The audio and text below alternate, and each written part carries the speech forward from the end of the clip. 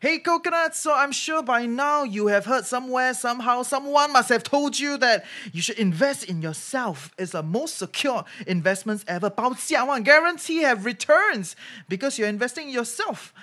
And I tell you, it's very hard to take the other side of the discussion, but I am going to attempt to take the other side of the discussion today to share with you why I believe that you should not invest in yourself, or at least you shouldn't see yourself as an investment, right? So I'm going to share with you my thoughts, my perspectives.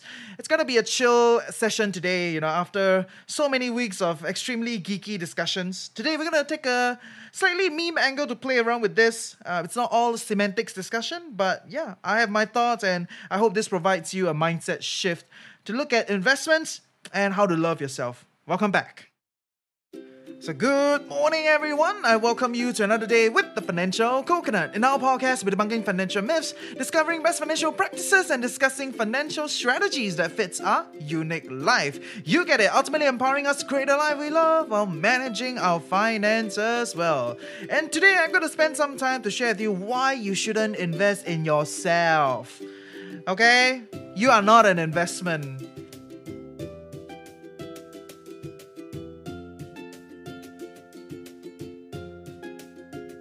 Okay, so before you think like this is some clickbaity shit and I'm purposely taking the other side of the discussion so that you will click in and listen, the reality is probably yes, a little bit of it, but I also want to make a point here.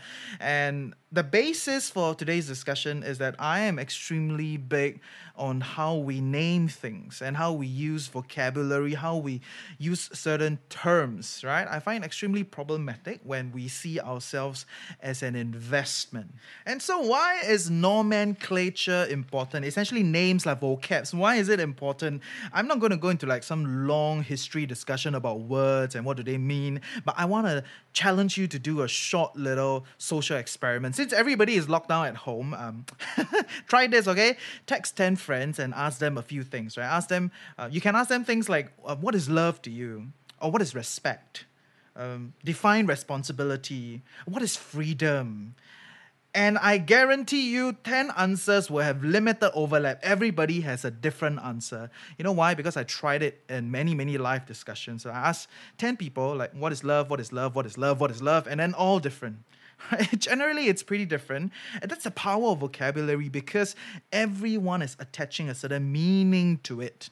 And with that, you realize people use vocabulary extremely loosely, which is why when I talk about things like risk, which is something that is very used, you know, in day to day, everything is very risky, everything is risk, risk, risk, right? The episodes that we talk about risk, I made it a point to define what is risk.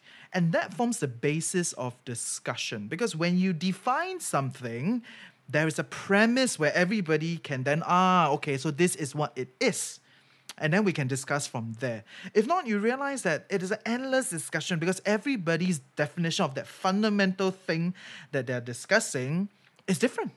So, big words like freedom, liberty, responsibility, love, all of them are extremely fluffy in different different people's eyes. People see it differently. And when it comes to investment, right, this is that one word that is also extremely loosely used. Everything is an investment. Buy a bag is an investment, right? Go for a course is an investment. Uh, investing in a financial product is an investment. Buy stock is everything is investment. These days, even an auntie talks about investment. So, if you think about it, right, it's also another word that's extremely loosely used. And every time something is very loosely used, I find it extremely problematic. So, to kickstart this discussion, I'm going to define what is an investment. And to me, an investment is allocating capital, in this case, money, allocating capital into something in the hopes of it making more capital for me in the future. And that's it. So there are two main ideas in this definition. Number one is I'm allocating capital, I'm putting money away into something so that it can make me more money in the future. So this kind of governs the whole idea of delayed gratification, right? Essentially means I'm putting money away, not consuming them now, but hoping that by buying something else in the future, my money will grow so that I can get more money to consume. The end is still to consume. Okay, I think that is something that a lot of people need to be very clear about. The baseline is still consumption. Stocks, bonds, REITs, businesses, it's not a consumption thing. You're not going to consume those things, if not even money, right? You can consume experiences, you can consume a great dinner, you can buy something that you can, you know, like a bag or something, right? All those things are your end consumption. But if you're not going to buy all those things for consumption and you're going to allocate capital into something for future capital, that is investments. Okay, so that is one concept in this definition. And the other concept is the concept of hope. Right? So, like I said, I'm defining it. Investments is me allocating capital into something in the hopes that it will give me more capital into the future. So, the idea of hope is extremely important because it will then factor in things like risk, uncertainty, and my realistic understanding that this is not guaranteed. Okay, there are fluctuations, there are things that will happen, and I'm just making my best educated guess. Okay? So you can define things in however you want to define. You don't need to share my definition of investments. But if you can define investments or risk or love or responsibility in however that you want to define in your own words, it gives you that color in your life. And research have shown that people with a wider set of vocabulary experiences life in a more colorful tone. Imagine you only know the word sad. Sad, sad, sad, sad, sad. Everything is sad. What You know, There is no texture, there's no nuances, there's no, you know, variance in your experience. Everything is all happy law, sad law, angry law, right? And, and that's gonna like limit your way of life and it's gonna limit the way you see things. So definitely learn to define things in a more specific manner and be clear about it. So for the word of investment, don't use it loosely. Buying a bag is consumption. Don't tell me you're investing. So this is not like some semantics play. I'm not trying to like make your life difficult. Everything must define, okay? But if you can have clearer definition about different things in life, especially these big words, right? Freedom, liberty, democracy, you know, investments, risk, insurance, you know, all these kind of things uh, that people use it extremely loosely and they don't have clear ideas about what they're saying. It makes their life extremely like feely feely lah, right? So in a sense, it's not a problem to live life in a feely feely fashion but you will find it very hard to repeat yourself consistently. Okay, so so all these discussion we can carry on another time. But the base idea that I have defined investment as then informs why I think you should not invest in yourself. And the first point, a bit funny, okay? Point number one is most people that tell you to invest in yourself actually really wants you to invest in them. It's not about yourself. So where do you hear this line a lot, right? Invest in yourself. You hear this a lot in the course circuit or in the people that are trying to sell programs or motivational discussion or all these these kind of stuff like essentially, okay? So it's not a problem. I totally think you should read books, you should go for programs, you should improve yourself. It's part and parcel of life. And if the course providers are doing a good job, hey, then why not, right? You should pay for them so that they can continue to create good courses and benefit you. Essentially, if you think about it, right, you can go to the library, everything can be free. Okay, that's the truth. You can go to the library, read a thousand books, everything can be free or compared to someone already read the book and they filtered the information and then they come to you in a structured manner and ta-da, that's a course. You pay them for their whole process of development, right? So courses are not bad in itself. I used to think courses are extremely disgusting, uh, but I've come to realize that courses make my life easy because I don't need to do all the research, okay? But that does not mean that you should go for all the courses and, and everything. My problem with this idea of investing in yourself being propagated within the course ecosystem or within this whole motivational discussion ecosystem is that a lot of time they're just trying to prime you to spend money. They're just trying to prime you to take out money to put with them lah, essentially to buy their program so that you can invest in their course. It's not so much about you. So I've talked about this before in some of the earlier podcasts. If you want to learn something, go and read a book, that's the cheapest. Okay, you can go to the library, get a free. If not, you can go and buy something online. a lot of reviews these days, right? So and read a book, read one or two books about that particular topic, and question yourself, hey, is this something that I'm willing to invest further? If this is something that I'm willing to invest further, then okay, maybe you could go and sign up a program from there. And don't buy those few thousand dollar program like super mentor, all those kind of shit. If you think about it, if you want to be a karate black belt, you start with a white belt If you are nobody and you go and talk to the highest level individual, right, you will get no ball. You don't get it right? Because there are so many things that you need to pick up, which is why the podcast is great because you learn a little bit, a little bit, a little bit over time. And then at some point in time, you'll be like, okay, now I know what to do. And then you can interact on a higher order, and then you benefit from talking to all these like maestro and guys. So I'm not saying these people are lousy or these people are frauds, um, although many are, in my view. In my view, okay? So in that sense, you can actually learn for a fraction of the cost, right? Or maybe like a, a tenth of the cost. And you can start there, you can tinker, you can play around. And if you think like, yeah, maybe this is my thing, maybe designing is my thing, maybe copywriting is my thing, or maybe investing is my thing, maybe coding is my thing. After you try a little bit, a little bit, this is a tinkering process.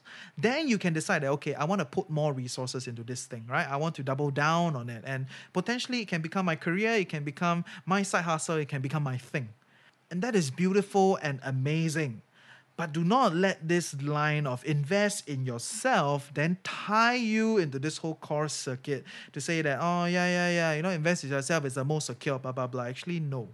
If you think about your marginal increase in your income, okay, if let's say every year you are growing your income at 5% after you go for this program, okay, or 10% after you go for this program, you think it's pretty good, right? And you think like, well, yeah, I invested in myself. Yeah, I'm growing and, and it's cool that my income is growing. But actually, you could take the same set of money and then put into another stock, like a Facebook or like a Tencent, like a WeChat, whatever, okay? Not recommending here. And they are growing at 25% top line year on year. You are only growing at 5%, 10%. Right? So if you think about it, and also uh, a lot of core success rates are very low, okay? So that's my first point like essentially a lot of people when they hear this line of investing in yourself they have this mesmerization that yeah yeah yeah it's the most secure it's the best i should just invest myself. But actually it is just their way of getting you to take out money to invest in them so that you buy their course. Which brings me to point number two and that is to love yourself. Grow explore live your life you are not an investment. Okay, period.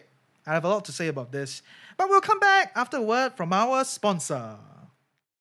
Okay, so this is a more interesting point in the sense that I find it extremely problematic when people see themselves as an investment or see their kids as an investment. That's also extremely problematic.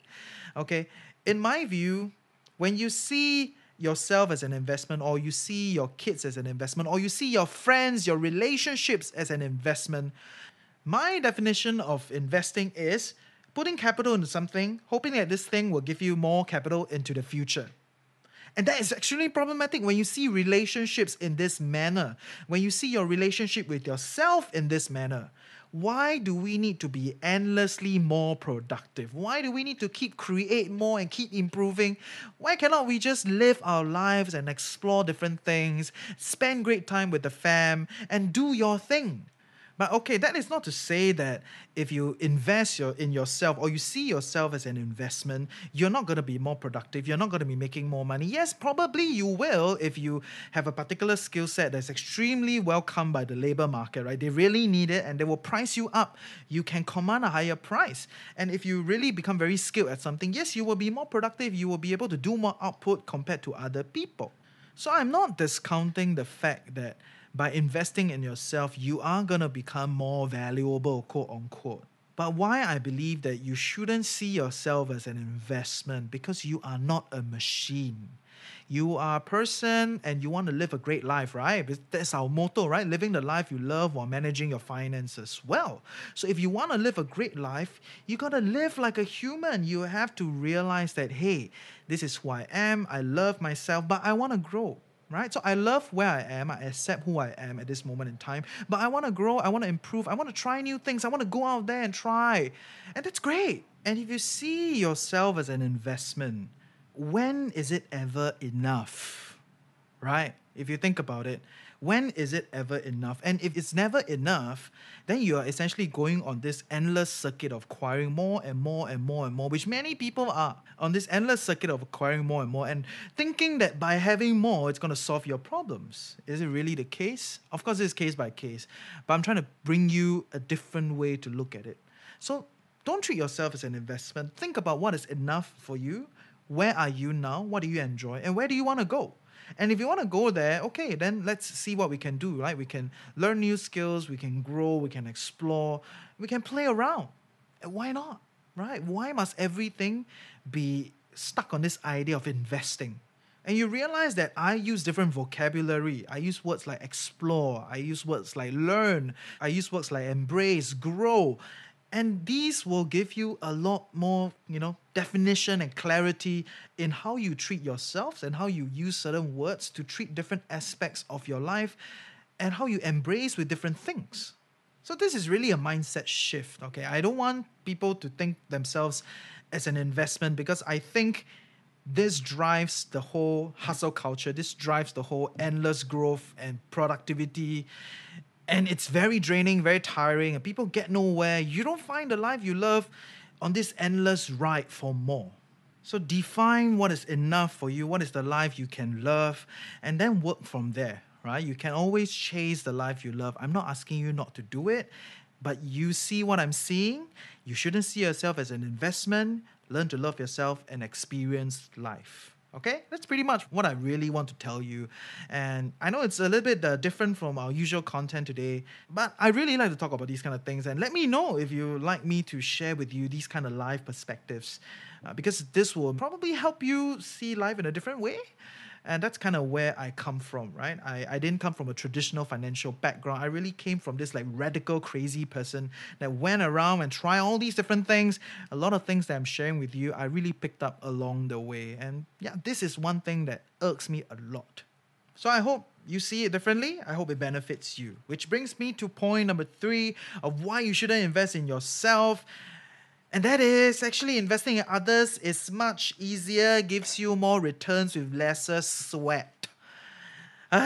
okay, so like I've said in the front, actually, you think that you are making 5%, 10%, 20% more income. But actually, a lot of these big companies, right, they are growing their top line. If you think of top line revenue growth as like income growth, they're growing at 25, 30%. Some of the biggest companies, right, Facebook, Tencent, Alibaba, not picking stocks here, not recommending. But if you think about it, investing in businesses is really much easier than investing in yourself because when you invest in yourself, you are essentially the business. Right? So if you want the business, you're not just putting capital, you're putting your time, you're putting your resources, you're putting your life, you're putting your network, everything in it. It's extremely tiring. You don't know what's gonna happen. And honestly, the hit rate is very, very low right? So risk reward tells us that maybe this is not the best way. But I'm not saying that you shouldn't be an entrepreneur. I, I'm I'm an entrepreneur and I'm super big on entrepreneurship. I think everybody, if you have an idea or you want to try, hey, do it. But recognize that you're trying. Recognize that you're experimenting. Recognize that you are, you know, dipping your toes in the waters and not hug onto this idea that I must make it. I must do it. I'm investing in myself and I need to have capital. I need to make sure this is profitable, right? So when you do that, it's extremely unhealthy. And then actually there's a better way, which is just to invest in others, right? Invest in other businesses, buy index funds, which essentially is an amalgamation of all the businesses in the market. Yeah, you get the idea. So invest in others, invest in businesses, it makes your life much easier. And to me, that is really how investing should work. I put my money into something and then I hope that it makes me more money. I don't want to be too active in this process. That's not mean I'm like passive and all, okay? I have to pick companies or I have to decide which fund to buy and all that stuff. So, in that sense, I put my money somewhere else. It works for me. Why do I need to put that pressure of making more money onto myself? Wow, it's pretty nuts, right? And every time you think of like, oh, investing in myself, indirectly you're putting that pressure for profit on yourself. Like it or not, okay, you can go and touch your heart and ask yourself. Every time people use investments, it's not for fun. One. Some people say, I'm investing for fun. It's like, don't lie. When someone say investing for fun, they're just giving themselves uh, some sort of back door so that they can leave the stage if shit happens, if their investment fails. They're trying, okay? And it's okay to try, but don't kid yourself. So Nobody invests for fun. Everybody, when they use the word investments, they want some sort of returns and they want some sort of growth, like it or not. So, in my view, hey, don't treat yourself like an investment and invest in other people, invest in other companies. They can perform so much better with limited sweat for you. So, yes, thank you for listening to 20 minutes of my rant. I know today it's a little bit different, and I felt a need to talk about it essentially because recently I've been seeing a lot of course programs coming up because everybody's locked down, right? A lot of these advertisers will start to come up and they're trying to sell us programs. And like I said, I'm not against courses, I'm not against programs, but I find it extremely problematic when people give themselves a lot of stress in this idea of investing in yourself. Okay, so I hope you learned something useful. I'm going to sum up today three pointers as to why you shouldn't invest in yourself. And number one is because most people, when they tell you to invest in yourself, they're really trying to make money off you. They're trying to get you to invest in them, right? Buy their programs, buy their books, buy into their ideology and whatnot.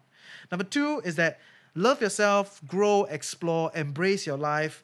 You're not an investment, okay? Investments are supposed to allocate capital into something so that I hope that in the future it can make more capital for me. But you are you. You are individual. You're not a robot. You're not a cow. You're not a whatever. Okay, not not not animal. Um, not being some anti-environmentalist or something. Okay, but the idea is you're not an investment. You're an individual. Love yourself. Invest elsewhere. Okay, put your money elsewhere. Set your expectations right with the right vocabulary. Okay. And number three is essentially investing in others probably gives you a better return with lesser sweat. Not so crazy, not so tautia.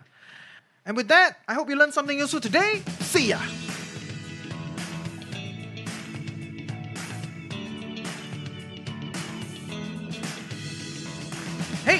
Learned something useful today and truly appreciate that you took time off to better your life with the Financial Coconut.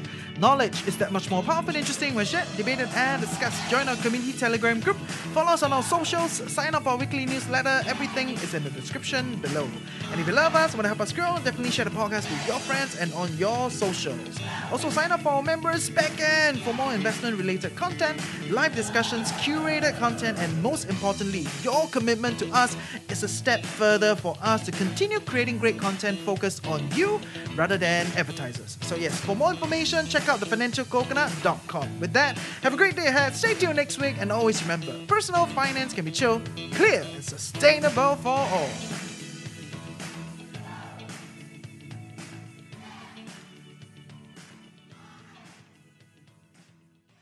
Woohoo! So yeah, I hope you guys enjoyed today's content. It's a little bit different, not so technical, very mindset-y.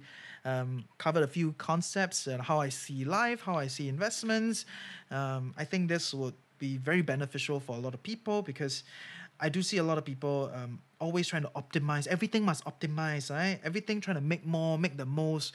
Um, but you know, you're not lo- you're not fully logical, lah. You have some logical brains, but we're humans. We have emotional aspects, and we shouldn't see ourselves as an investment uh, we should live our life, right? So I hope you I hope you um, get a little bit of interesting perspectives today. And later this week, I'm going to be spending time with uh, the Providend guys again.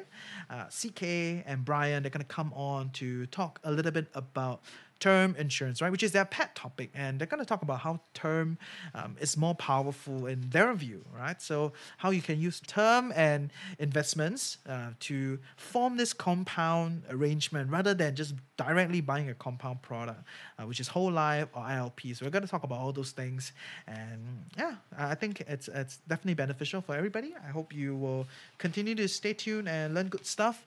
Next week, I'm going to spend some time with you to talk about fire. Okay, recently I think there's also some uh, content out there about fire, and I do have some ideas about fire. Uh, and I'm not totally against fire. I think sometimes it's very extreme, right? Financial independence, retire early. Some people go to the extremes to achieve this thing, right? So um, while I'm not extreme, like a fire, fire kind of person, I do think there's some basics and some ideas that are great to share and great to expand upon, right? So we're gonna do that next week. I'm gonna share with you some core beliefs, okay, to help you fire better or you know, um, just make the journey of financial progress a more fun and palatable one, lah, in my view. Okay, so yep, see ya next week. Take care.